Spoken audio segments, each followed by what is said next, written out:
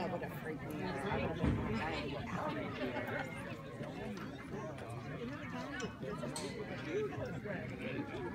Looks like it's still training. Come on, Thomas. Oh, wow. That's beautiful. Yeah. It's Is that